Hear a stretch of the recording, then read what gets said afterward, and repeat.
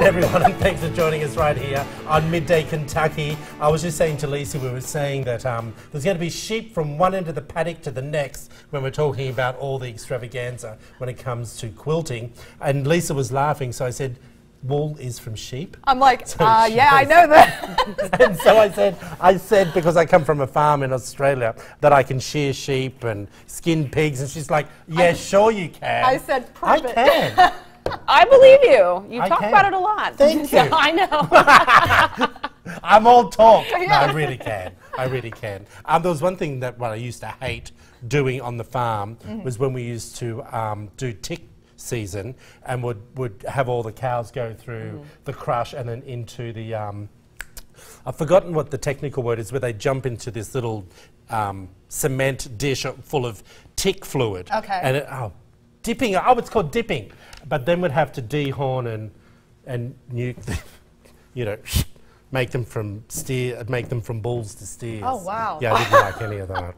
Didn't like any of that. Yeah, hey, um, how was your weekend? You went away. how was- was campervan It weekend? was it was great. The weather held out, no rain, but it, It was uh, so hot. It was so hot. It was 96 degrees, and we were roasting alive. But it was a water park. You know, we spent the majority of the time at the water park, so it was a lot. oh, of so fun. oh, you camped at the water park? Yeah, well, we camped at a In campground right beside, right beside Oh. the water park and the um, amusement park. So yeah, it's right beside it. It's wonderful. It's awesome. We went to Holiday World, as, as some of you know. Is that So- in like Wally's World? It's it's in Indiana, Santa Claus, Indiana. so we stayed. Our campground was Lake Rudolph. Everything is Christmas holiday Oh, themed. Yeah, yeah. already? I- it- Or it's all all year? year round. All year oh round. my! Yeah, Do you remember the movie National Lampoon's Vacation?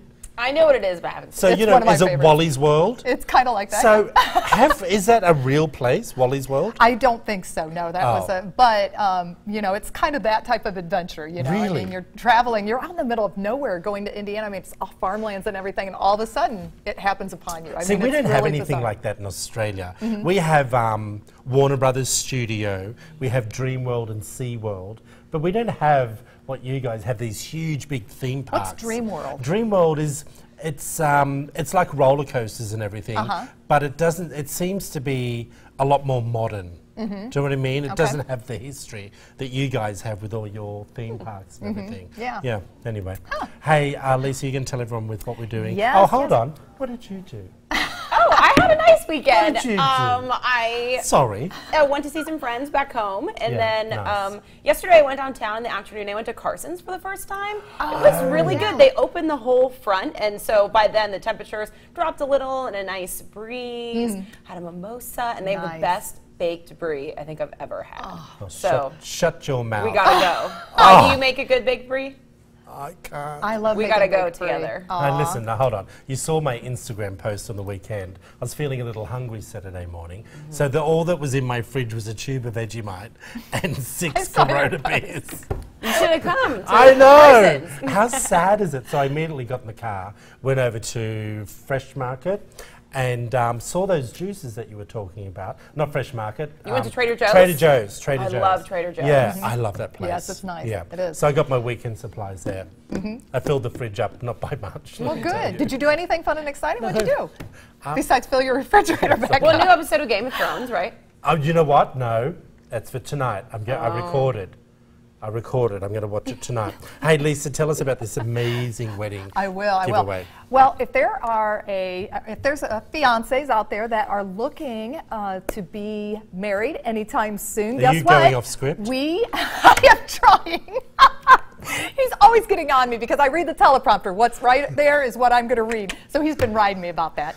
But be patient with me, everyone, because guess what? If you are the ultimate UK fans and you're engaged to get married, we are giving away the ultimate Big Blue wedding giveaway worth over $25,000. And we're going to tell you all about it. We have Hillary, uh, Hillary, not Hillary. We We have Holly. Holly, here. thank you. Not Hillary. Holly coming in, and she's going to be telling us about all the prizes. You can see some of them on the scripts now. Um, but what do we do, my friend? I mean, but what is so cool is that everything that's included a value of up to $25,000. Twenty-five thousand dollars, It is people. So go over to our website. That's WTVQ.com slash contest. You can find all the information on the banner there. Yeah. Send in a picture of you and your fiance, a little story, and you'll be entered to win. This is the biggest giveaway I think I've ever seen. Well, before. and this is something I wanted to put together. This was something we did on our show in Utah, mm-hmm. and it was so popular. Oh, and I said to everyone here, we have to do a wedding giveaway. Absolutely. So just How remember, everyone,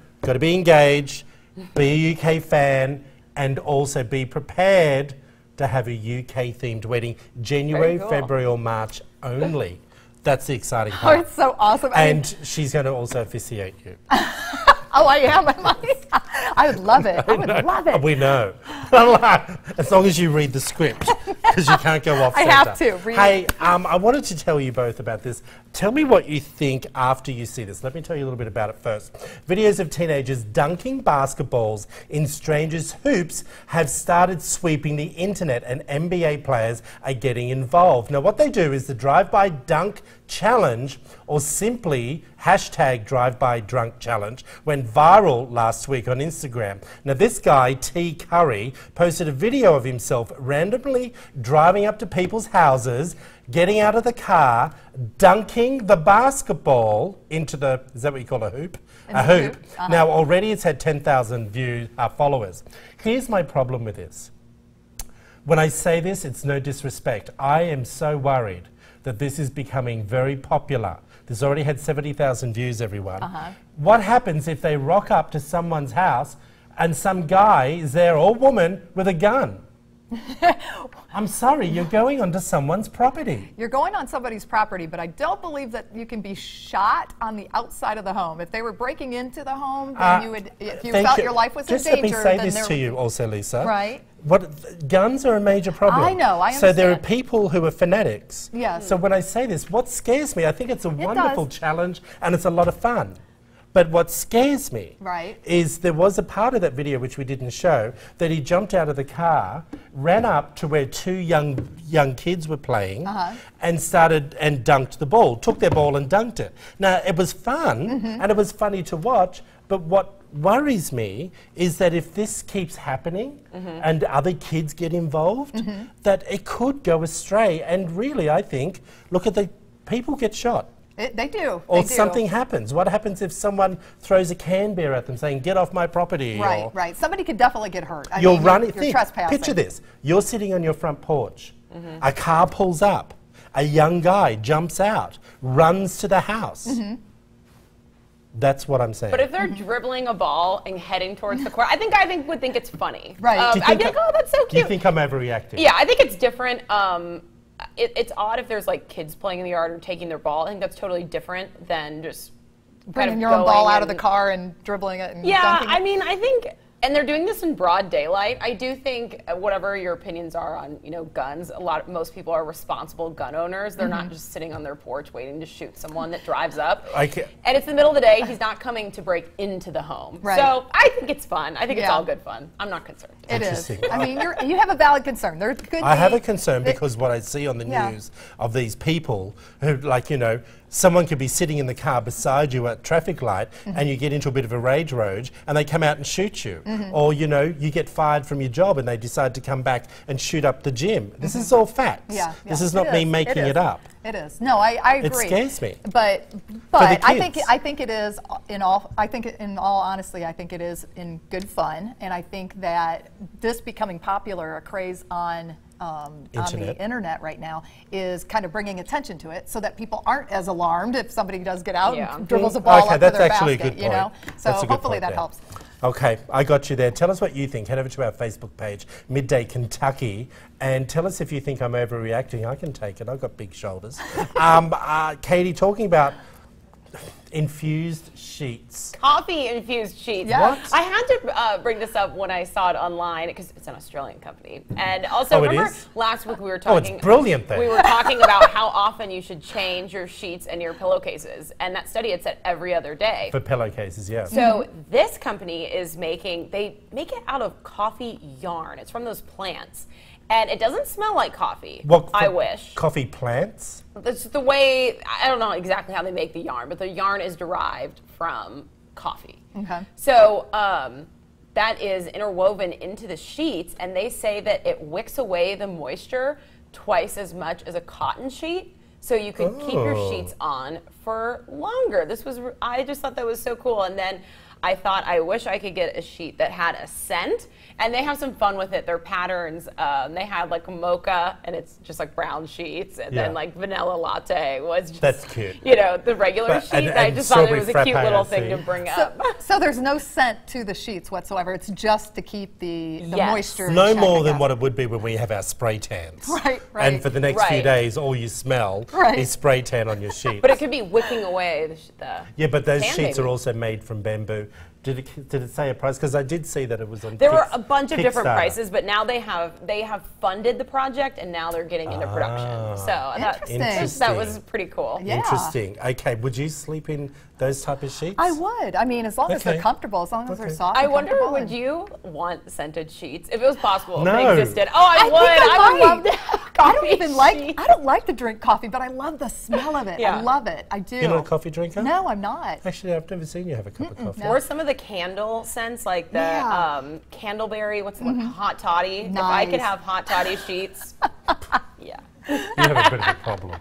French Have vanilla. you ever smelled the French hot vanilla toddy? coffee sheet. I've You- drank plenty of hot toddies. Your nose, your nose has not lived. Okay, so let's talk about um, what pet sounds and are you saying that we need to make pet sounds Yeah, for our animals? No. Oh, no, that's not at all. No, what this is, is I came across, I thought it was really cool. Um, there is technology now that is coming out where they are, and it, it's funded by Amazon actually. They're doing, they're funding the research behind this, but they're looking to develop translators for animals to translate their sounds, their barks, their meows into actually into words, into being able to communicate listen, they your can't even do that with dolphins or whales yet. But they are, here's like for instance, this is a cartoon called Up, and my kids and I love this cartoon. But this was the technology that they had in the cartoon was where they had dog translators on there and they were all talking. The dogs would talk throughout the movie through this digital device that was hooked onto their collar. Well, that's exactly what the study is looking to do. And they are developing it and they think that this technology is going to be available within the next 10 years. I'm just sitting here thinking if that becomes popular, there'll be dogs like, excuse me, Dad, can you not pick your nose while you're watching TV? or you will never need another partner in your life because someone who lives alone, I often talk to myself. Right. Yeah. So if I now have a dog that I know can talk back, why do I need a partner? Yeah, interesting. I've just got my inbuilt company. P- I- It's true. I mean, and that's true. And that's a lot of people. They know Amazon obviously investing into this. They know the the potential financial gain that they can have from this because people are so But into their animals, know? into their pets. I would. What about I all the dogs that this. sit in your bedroom when you're making love? You know, like, you know, you've seen all those movies. Uh, come on, let's be real, people. That all happens. There's all conversations on the web, and there's like, it's uncomfortable for some partners. They're like, can you get rid of your dog? We're making out. all of a sudden, the dog could be saying, you know, Peter, you could be doing a little bit better. We should be at base number two by now. Do you know what I mean? Like, It could happen, Troy. Exactly. It could happen. I think it'd make life interesting, actually. But Tell but us yeah. what you think. I'm sure it's great for pet lovers. Head over to our Midday Kentucky Facebook page. it's crazy. Stay tuned for some live music, everyone, from Vanessa Davis. You're watching Crazy Midday Kentucky. Be right back.